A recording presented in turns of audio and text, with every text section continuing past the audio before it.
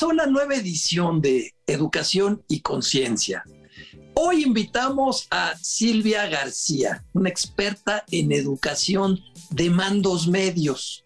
Eso es de lo que vamos a platicar. Silvia, bienvenida, bienvenida a esta edición de Educación y Conciencia. Muchas gracias, Jorge. ¿Cómo estás? Gracias por la invitación de antemano. Silvia, tú estudiaste administración de empresas, luego hiciste una maestría en administración de empresas en el TEC de Monterrey y luego has estado estudiando diferentes temas, coaching, mentoring, y te has ido especializando en dar capacitación a mandos medios. ¿Qué se debe entender por un mando medio? Así es, porque bueno, mira, eh, hay que partir de que en las organizaciones existen las cadenas de mando, ¿no? Sabemos que el mando es a través de lo cual, bueno, pues se muestra la autoridad de las personas que conforman esa organización. ¿Para qué? Pues para poder dar las órdenes, las instrucciones que los demás van a poder realizar para pues poder lograr esa coordinación en el trabajo que se requiere, ¿no?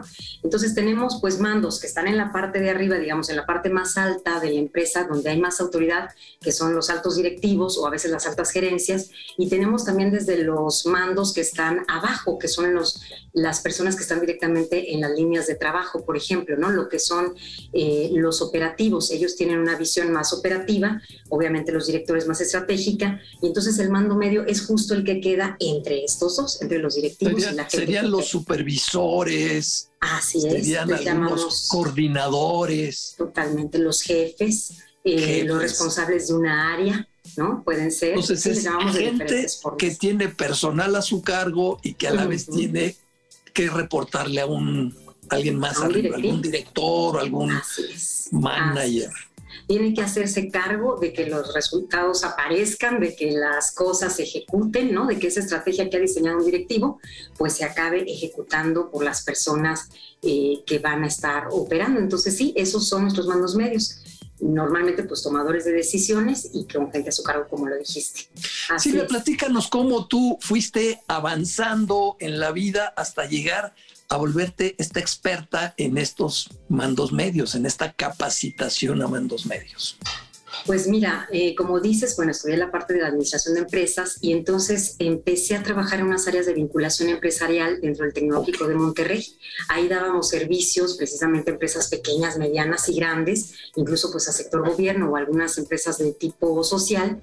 Y eh, justamente estos servicios de vinculación consistían en capacitar, consistían en dar consultoría en diferentes áreas de especialidad y precisamente pues fue que me fui rodeando de una serie de personas a mi alrededor que eran facilitadores, eran tutores, eran coaches, de los que pues yo también fui aprendiendo, ¿no? Y me fui enamorando de la profesión, porque originalmente yo administraba el área, entonces me encargaba de la venta, de la coordinación, de la promoción, de todo lo que ahí pasaba, de poder dar el servicio, tener las aulas listas, los materiales a tiempo, eh, contratar a los instructores, ¿no? Seleccionar los programas y poco a poquito, bueno, pues fui teniendo también oportunidad de ir participando en los programas, ya también dando algunos de los temas, hasta que finalmente, pues hace unos siete, ocho años, ya de manera más, eh, ahora sí que de tiempo completo, es que me he podido dedicar a eso, ¿no? Y precisamente, bueno, pues mucha de la gente a la que hemos atendido es en mando medio precisamente también tengo la experiencia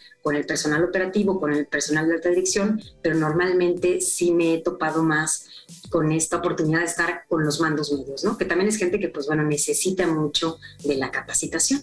¿Qué tipo de empresas son las que tú has atendido y que atiendes? Pues mira, hay de todo, me ha tocado diversos giros. Sí, por supuesto, por estar yo radicando en la ciudad de Querétaro, tenemos mucho más eh, la oportunidad de atender empresas en los ramos de automotriz, en aeronáutica, es muy común, ¿no? Hay, mucha manufactura, como tú sabes, Jorge, aquí. Eh, sin embargo, bueno, pues también en ocasiones he atendido empresas eh, de servicios y pues empresas comerciales, ¿no? Entonces, algunos nombres, pues por ahí que seguramente la gente ubicará, en términos a lo mejor de manufactura, he tenido oportunidad de trabajar con Dana de México, que tiene varias plantas aquí en la ciudad de Querétaro y también alrededor del, país. Eh, he trabajado, por ejemplo, con Inca, que ellos tienen un grupo muy grande empresarial, entonces también ahí ha habido varias empresas que, que ellos han tocado, hemos tocado.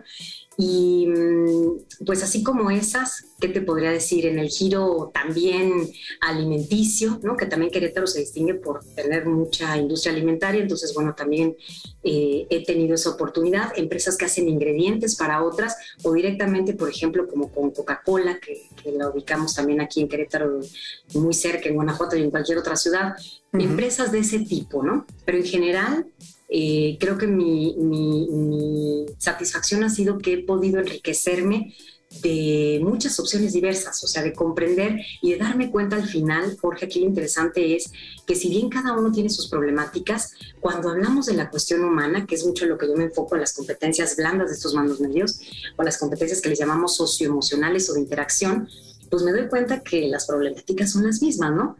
Falta de comunicación, falta de una escucha activa, por ejemplo, ¿no? Eh, falta de enfrentar y no evadir los conflictos, por lo tanto, ¿no? Eh, o por ejemplo, la empatía para poder liderar y para poder dirigir al personal, son de las cosas que comúnmente pues, nos encontramos. Silvia, ¿y encuentras esta misma necesidad no importa si es una industria aeronáutica o de autopartes o alimentos, ¿coincide esa necesidad? Mira, realmente sí, porque es por la naturaleza de lo que pasa con el mando medio, ¿no? O sea, el mando medio tiene un rol clave, un rol estratégico, porque está ahí, justo siendo el puente entre los que están arriba y que mandan la instrucción a desarrollar y el tener que convencer, influenciar, y manejar de manera adecuada a los que están más abajo para poder pues echar a andar todas las iniciativas, ¿no? Generar la producción o generar el servicio que se vaya a entregar. Entonces son personas que, bueno, además conocen los procesos este, medulares del negocio y la cuestión es que muchas veces esta gente llega a mandos medios porque ascienden, ¿verdad? Porque vienen de haber experimentado la parte operativa, una vez que ya son conocedores de todo eso, que conocen y dominan la técnica y que conocen el negocio, los ascienden pero realmente los ascienden a través de las otras competencias o capacidades que tenían para hacer otro tipo de trabajo y cuando se topan a que en este mando medio requieren liderar y requieren manejar personal, pues vemos que las habilidades que ya se necesitan definitivamente son otras, ¿no? O sea, ya manejar al personal requiere de otras cosas. Entonces es necesario, sí lo creo, Jorge.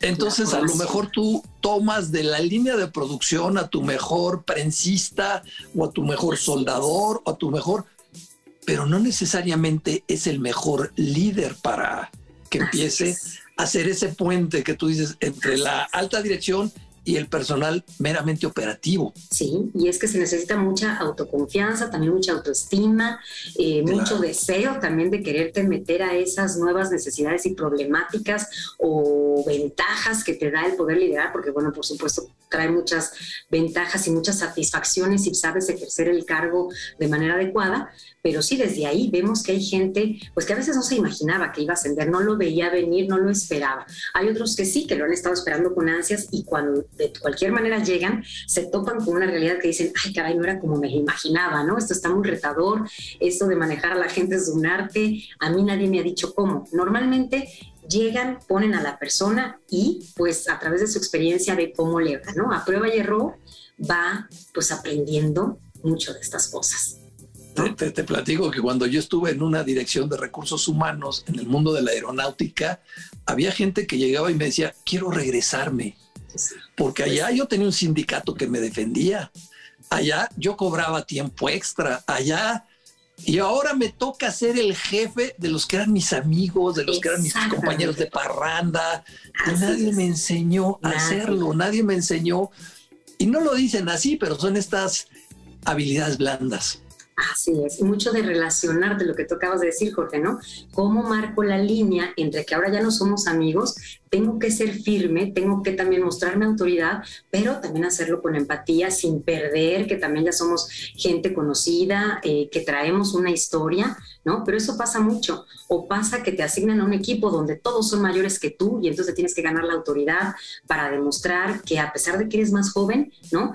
por algo te eligieron, traes ciertos conocimientos, traes ciertas cosas que, bueno, nada más también hay que pulirlas, ¿verdad? Hay que, hay que apoyarse y pulirlas. Pero sí pasan muchas de esas este, situaciones. Me ha tocado ver incluso, Jorge, y recientemente platicaba con uno de mis coaches en, en ese sentido, donde fíjate, una persona cuando él llega a trabajar como operativo en una línea de producción, le enseña, ¿verdad? Sabía más que él, le enseña y demás.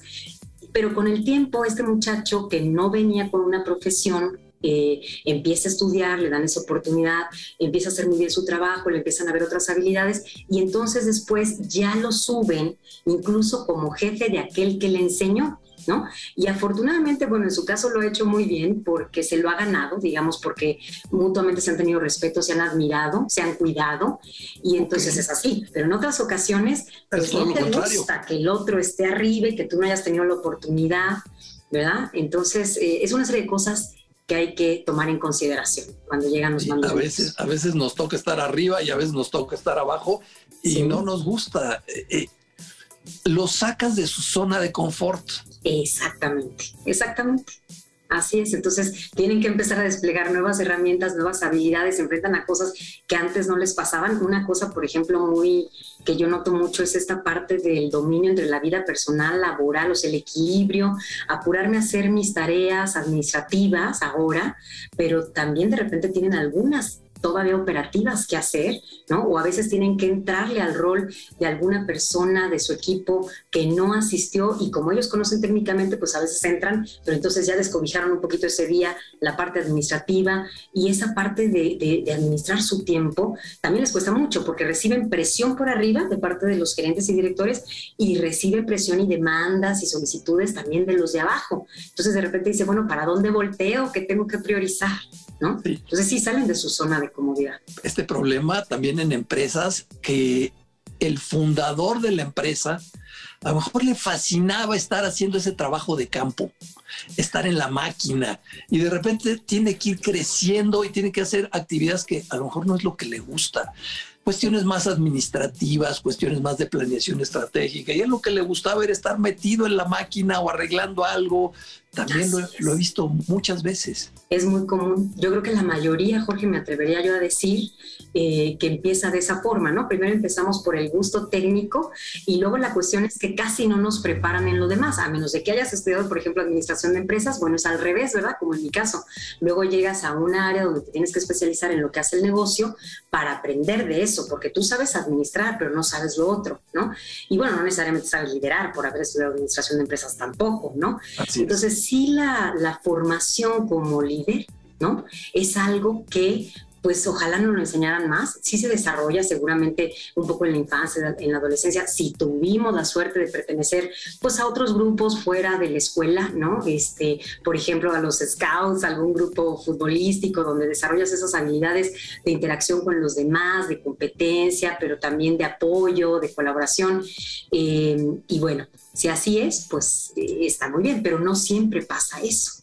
Entonces nos falta mucho desarrollar ese, esas habilidades de liderazgo, que además son varias, Jorge. Ojalá fuera sencillo, pero en realidad son una serie de conjuntos de habilidades. ¿no? Silvia, vamos a hacer una pausa y regresamos para seguir platicando de estas habilidades blandas. Claro que sí. Gracias.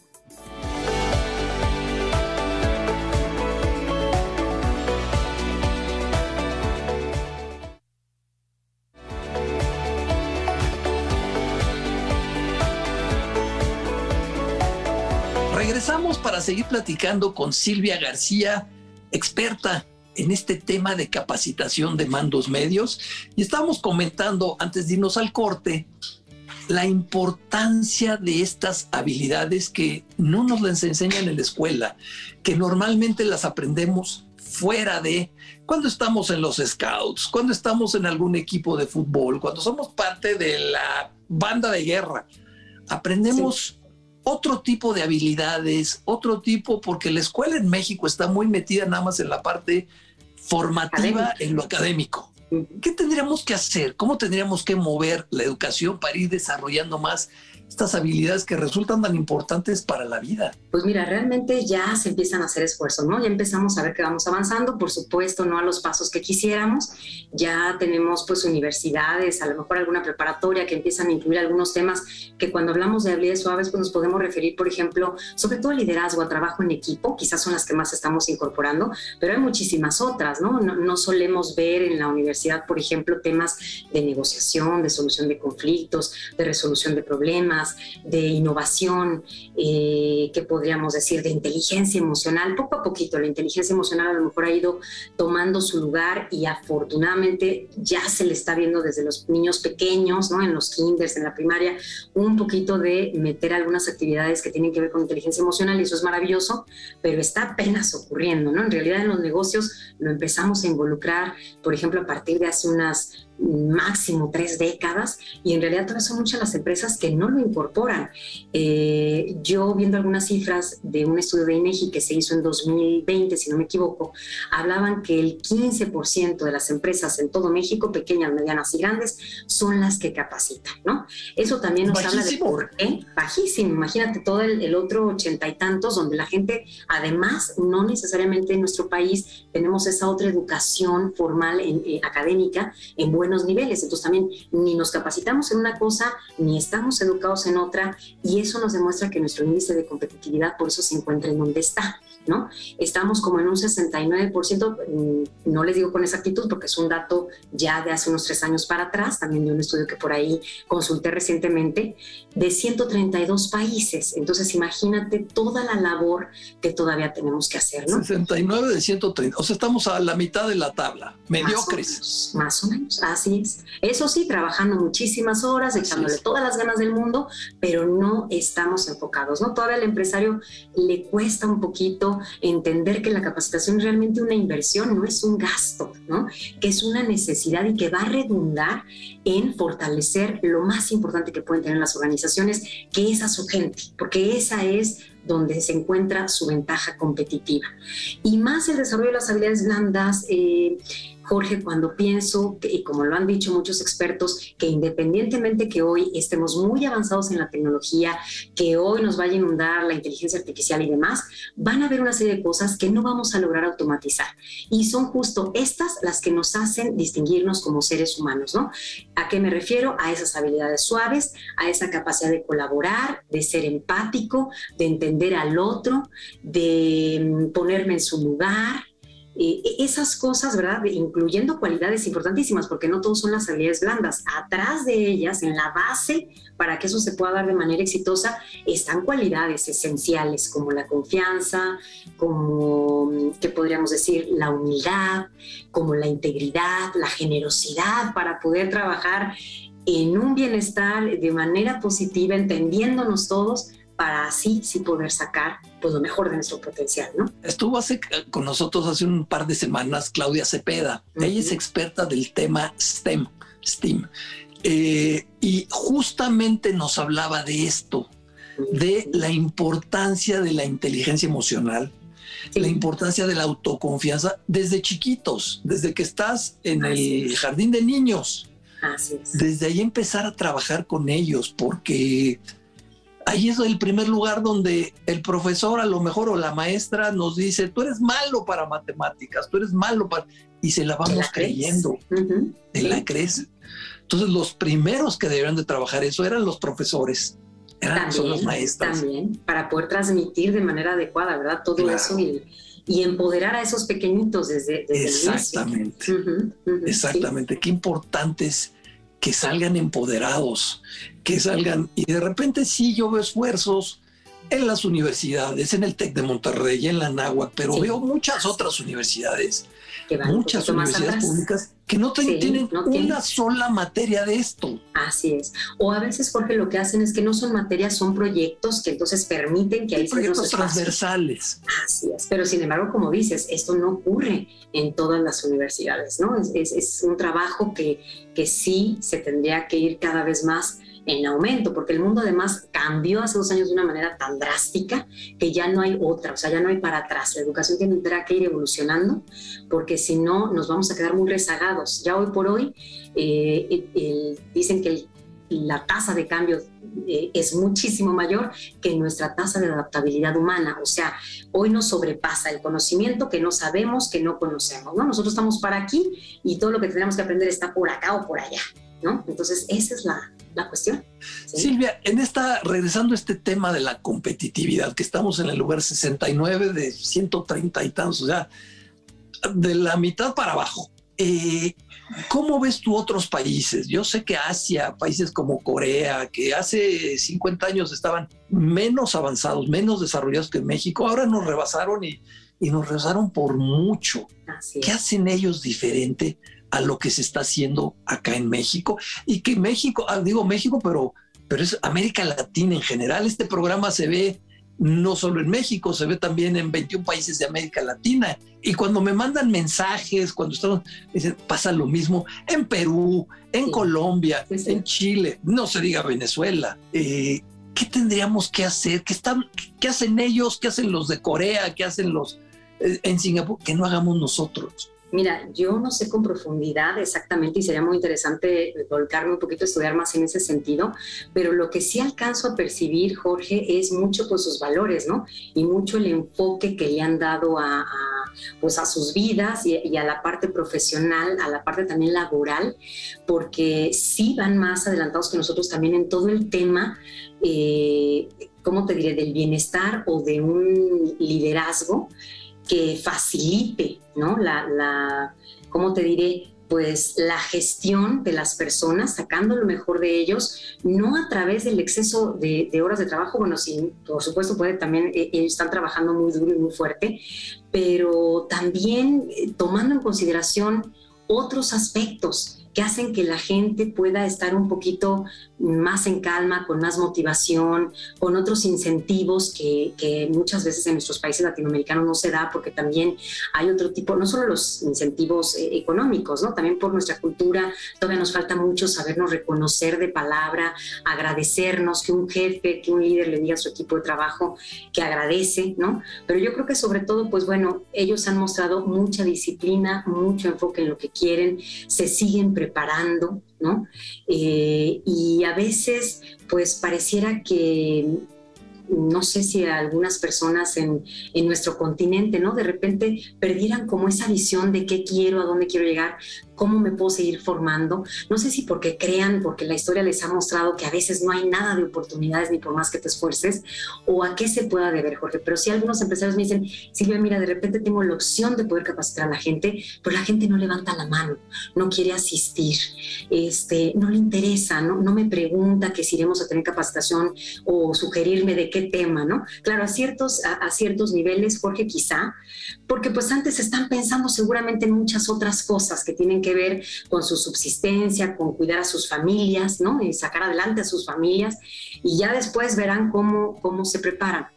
Otros quizá, los que ya están en otras posiciones incluso de, de, ascender a cargos altos, por el contrario, ya estamos notando que están pagando de sus propias bolsas la capacitación porque se dan cuenta que es una herramienta bien poderosa ha sido siempre y lo va a ser para los próximos años, ¿no? Entonces ya no se esperan a que sus jefes o sus directivos los inviten a participar, sino que ya están ellos mismos haciéndose cargo, porque se dan cuenta y lo sienten, que necesitan nuevas herramientas de trabajo, ¿no? Sobre todo porque los puestos que ellos tienen hay pocas posiciones, entonces no cualquiera logra y consigue colocarse. Como yo veo justamente eso con muchachos y muchachas que están estudiando maestrías en alta dirección, maestrías en administración, maestrías en ingeniería, y se lo pagan ellos, muchos diplomados en habilidades gerenciales, en habilidades directivas, y se lo pagan ellos. Es gente que ya les, les, les tienen una visión más allá. ya lo probaron. O ya probaron, porque que tuvieron una opción de haberse capacitado, les resultó, les dio buenas herramientas para poder hacer mejor su trabajo, vivir mejor su trabajo, y entonces han estado dispuestas a capacitarse. Eh, yo sé que tú junto conmigo te has dado cuenta cómo cuando pasan un programa, por ejemplo, gerencial, eh, de este tipo de leyes de las que hablamos, se sorprenden, ¿no? De todo lo que pudieron encontrar, de toda la conciencia que pudieron tomar de aquello que les hacía falta para poderse desempeñar mejor y sacar lo mejor de la gente que está en sus equipos, ¿no?